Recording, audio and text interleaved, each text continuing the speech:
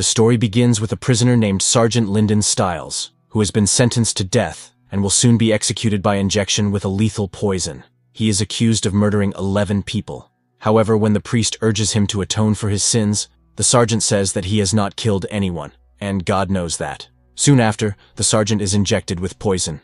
He prays until his last breath, and then closes his eyes. The doctor examines his body and declares him dead, but after some time, he regains consciousness in a locked room, wondering how he is still alive. A man tells him that since the sergeant was previously a military man, they give him the option of submitting himself for an important experiment. If he is not ready for it, they will carry out the punishment. If he survives this experiment, he will get a new name, a new place of residence, and a good amount of money. The sergeant has no knowledge of this medical experiment but still cannot refuse because the other option is death. After this, he is locked in a glass box under heavy security. Soon after, a female doctor called Ellen pays him a visit with the purpose of taking blood, skin, and hair samples for DNA analysis. The sergeant tries to joke with him, but the woman is very scared of him. She says that the sergeant has killed 11 people. The sergeant tries to convince her that he was a soldier. He killed more than 11 people. But he was just performing his duty, just like Ellen is doing now. The sergeant says that he has been framed for the brutal murder of 11 people because he refused to kill a foreigner, so he was expelled from the army and confined here. However, the doctor does not believe him because this is absolutely impossible in the United States. She also mentions that it won't change anything, whether he believes her or not. The sergeant asks Ellen about the medical experiment, but she says she has no knowledge of it. For now, she walks away with samples of his skin, hair, and blood, and the sergeant is left alone with his Bible. The doctor is running a secret laboratory, where he shows Ellen the remains of an alien and explains that they came here a year ago. The pilot detected their ship on radar but thought he was under attack. So, he fired a Sidewinder, and their ship crashed.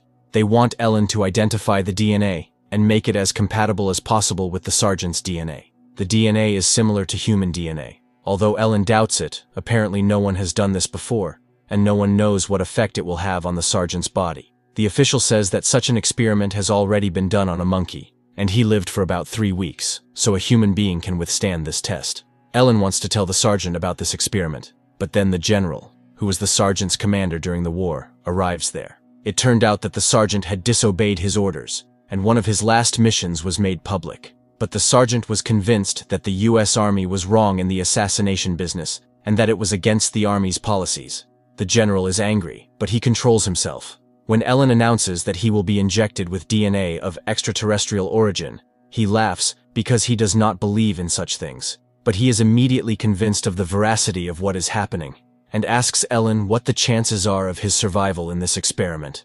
Ellen explains that the alien DNA is very similar to human DNA, so there is a strong possibility of its survival, but no one knows in what form. Ellen's words reassure the sergeant a bit, and he agrees to the experiment. The general orders the experiment to begin and says goodbye to the sergeant. The sergeant is tied to a table and stripped of his clothes, but he keeps the Bible with him. He forgives Ellen for what she did to him before the injection thinking he might not get the chance later. They begin to inject, and soon the sergeant begins to transform. He becomes horrifically disfigured. He suffers unbearable pain and constant nausea, but he endures all the tortures steadfastly by reading the Bible, thinking that they may change his body but cannot change his soul. He endured all the torture for a long time, but now his pain has become unbearable. One day, when Ellen comes to check on him, he tells her to at least give him clothes, as he is still a human being, not a rat in a cage. Ellen assured him that there would be no more injections, and she also allowed her to wear clothes. During this, the sergeant repeats the same thing. He has not killed anyone, and he was not there at all. He shows his palms stained with blood, from which horns are now emerging. MRI scans show his brain is expanding, and his skull cannot longer contain it, so his pain is increasing. This could also lead to his death, because the same thing happened to the monkey on whom the experiment was done. Then suddenly the sergeant loses consciousness, the doctors run to him and inject him with adrenaline, but no signs of life are seen. Even electrical stimulators do not help, and the doctor declares him dead. Suddenly, the sergeant opens his eyes, but upon checking, no pulse is found. The sergeant takes Ellen's hand to her stomach, where her new heart is now beating. Ellen is very surprised, as he had grown a new heart. His pain has also lessened now, but he is afraid that he is changing. Ellen assures him that he has overcome tough times and the future might not be as challenging for him. As time passes, the sergeant undergoes a transformation. which is not easy for him. But now he can do much more compared to others. He can handle pressure more easily, and his strength is five times greater than that of an average human. Additionally, his listening ability and vision have also become sharper. One day, he breaks out of his glass cage and runs away from the base. It turned out that this was the second phase of the experiment. The general gathered his troops and announced a hunt. Ellen is shocked because the generals let her escape on purpose so she could learn whether it was possible to capture and kill the aliens. Meanwhile, the sergeant goes out into the woods and sees his reflection in the river for the first time.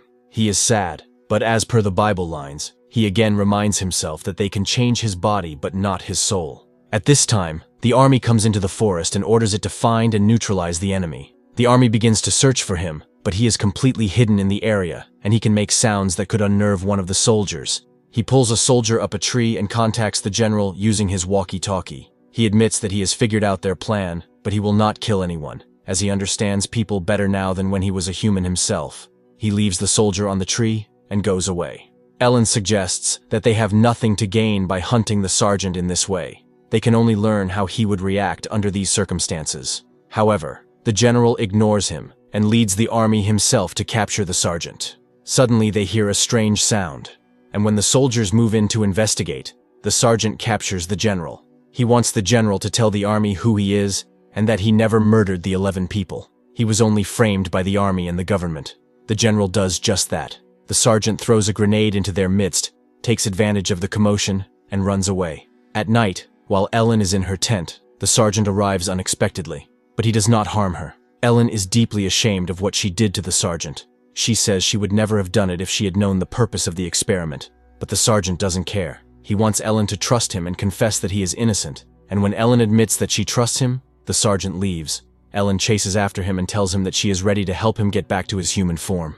However, she doesn't know whether it will work or not, but she can try. The sergeant makes an appointment for the morning and leaves. The next day they meet at the designated location, and Ellen takes out the syringe, but her hands begin to tremble. Due to this, the sergeant realizes that there are 20 sharpshooters around him, and he is their target. Eventually, Ellen admitted that she was forced to do so. She also reveals that the sergeant can no longer turn back into a human, and there is no cure.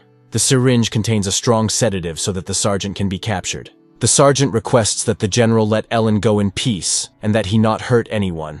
The general reminds him that the experiment has ended and that he is lost. But the sergeant says that he won because he never became a murderer. The general orders the soldiers and takes him at gunpoint.